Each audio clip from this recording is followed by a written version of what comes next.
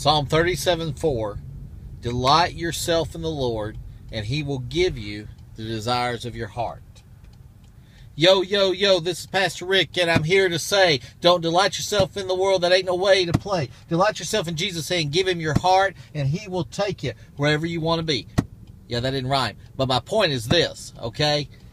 No matter what, we look to the world for pleasure, we're always going to find ourselves disappointed. We're always going to find ourselves in a a situation that we didn't want to be in. It may start out good, it may look good, but the end of the path is never a good thing. But when you delight yourself in the Lord, says He will give you the desires of your heart. Doesn't mean what you want. It means God will change your heart to where you will desire what He desires, and that will lead to an awesome path.